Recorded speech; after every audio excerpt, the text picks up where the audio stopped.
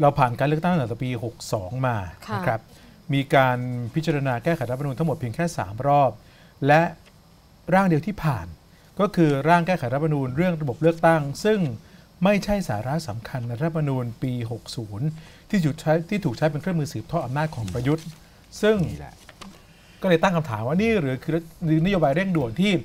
บางพัก ประกาศเอาไว้อ่าพักไหนเก่าฮะพักเก่าของคุณไอติมนั่นแหละฮะ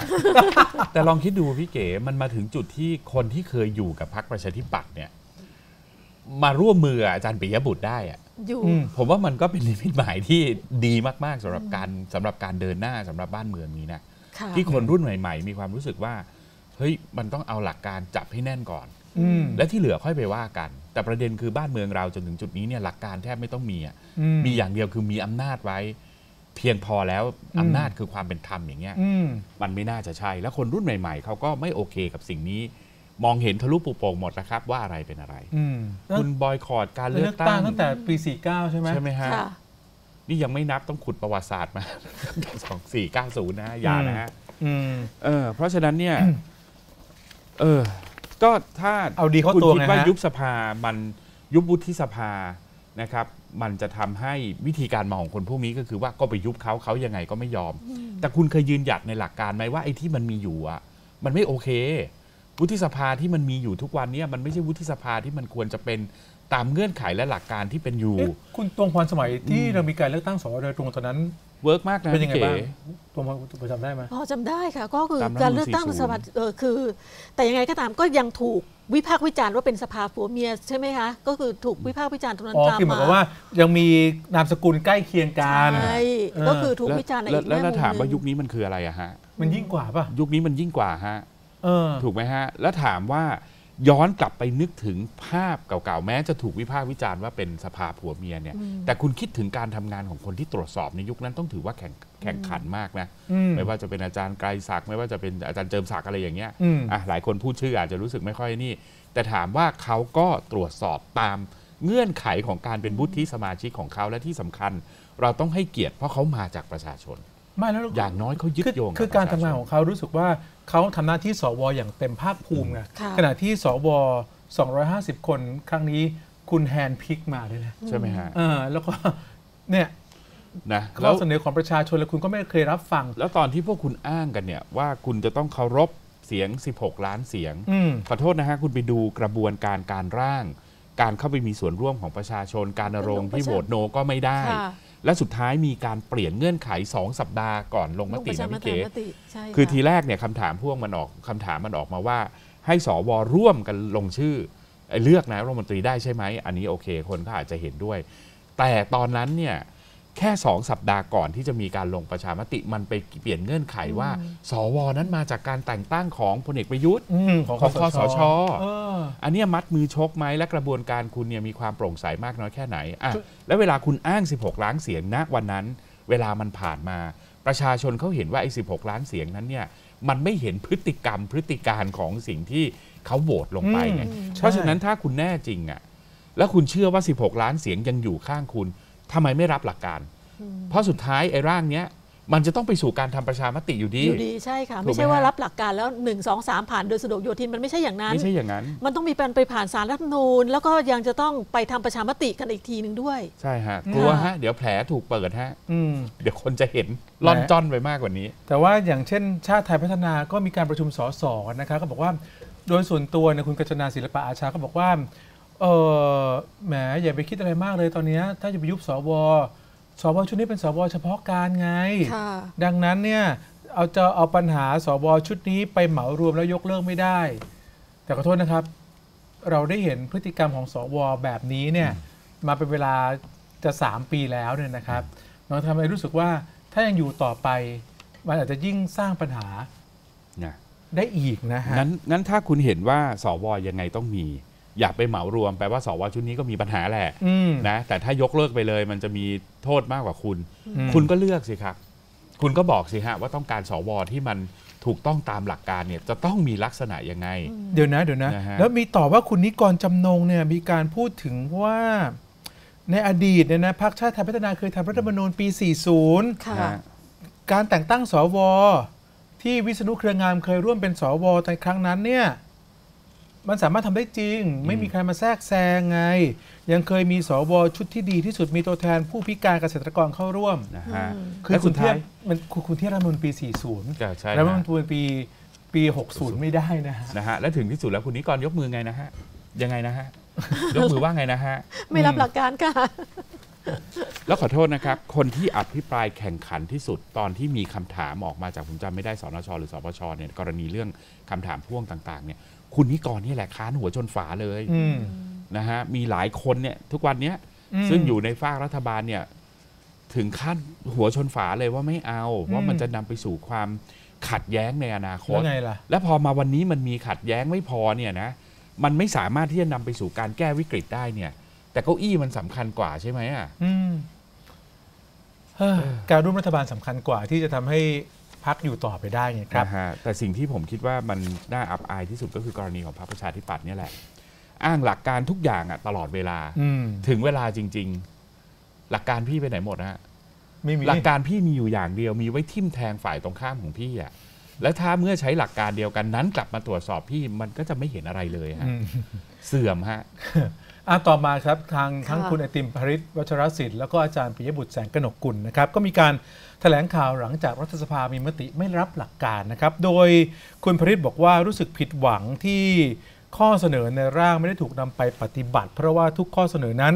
ไม่ได้สุดโต่งและไม่ต้องการให้ฝ่ายใดฝ่ายหนึ่งได้เปรียบ เพียงแต่ต้องการสร้างระบบการเมืองที่ที่ควรควรนี่คือคอวอ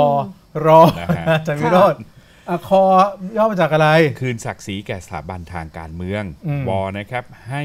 ไว้ใจประชาชนและค่ะรอนะครับ ระบบที่เป็นกลาง ขอบคุณสมาชิกรัฐสภาที่รับหลักการนะครับ ขอบคุณสมาชิกบางคน ที่แม้จะไม่รับหลักการแต่อภิปรายเนื้อหาและแสดงความเห็นที่น่าเป็นประโยชน์กับประชาชนนะฮะและที่สำคัญ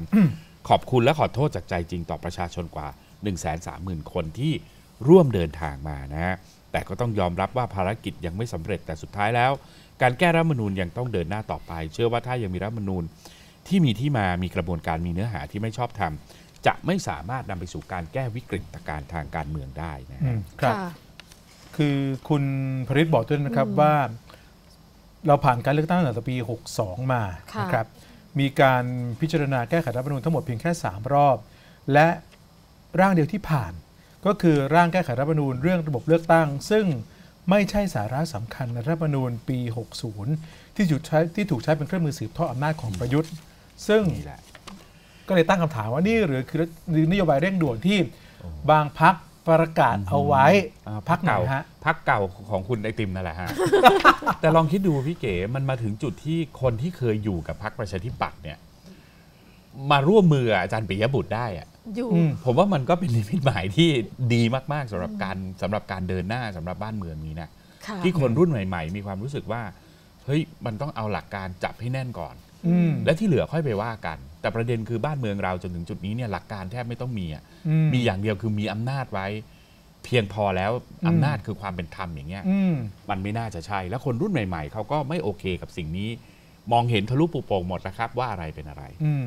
ครับค่ะอืมส่วนอาจารย์ปิยบุตรนะครับค่ะ บอกว่าจนถึงปัจจุบันนะฮะไม่เคยมีสักครั้งที่รัฐสภา จะพิจารณารับหลักการร่างของประชาชนเราหวังว่าครั้งนี้จะเป็นครั้งแรก เพราะเห็นความต้องการของประชาชนนอกสภา ก็หวังว่าสภาจะเงี่ยหูฟัง แต่วันนี้ก็ชัดเจนว่าสมาชิกรัฐสภาส่วนใหญ่ ยังไม่ยอมเปิดประตู ให้แก้ไขรัฐธรรมนูญที่มาจากการเข้าชื่อของพี่น้องประชาชน และสำหรับพี่น้องที่เข้าชื่อกับเราประชาชนที่สนับสนุน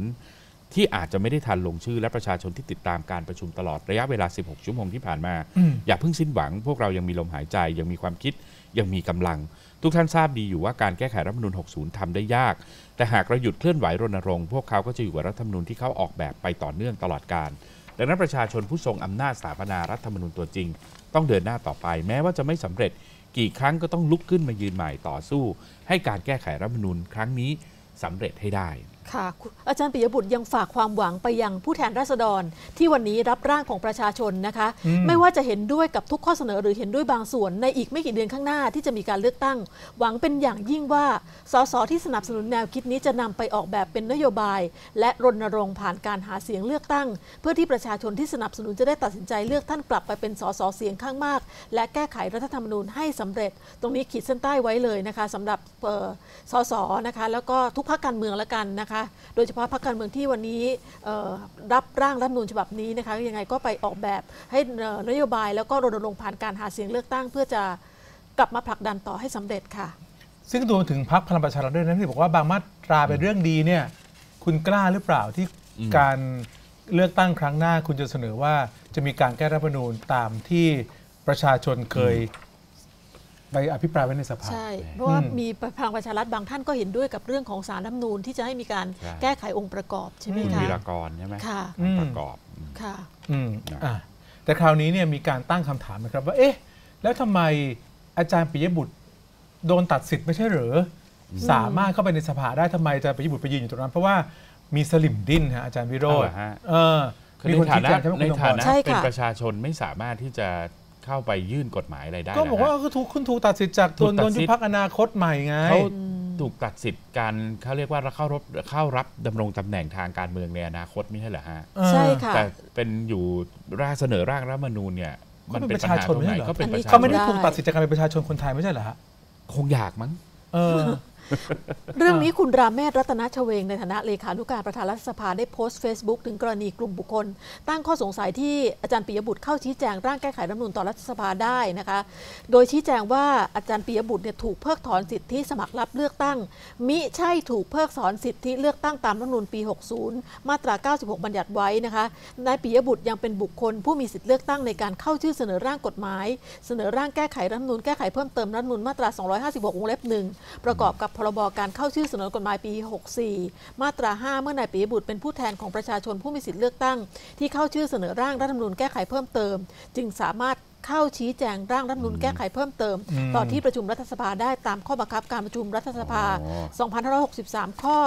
116 วรรคสองนะค่ะฮะสลิมดินก็เลยต้องออกมาชี้แจงซะอ่นะครับาก็คือสรุปว่าอาจารย์ปิยบุตรไม่ได้ถูกตัดสิทธิ์จากความเป็นคนไทยนะครับ อาจารย์ค่ะปิยบุตรถูกตัดสิทธิ์แค่อ๋อ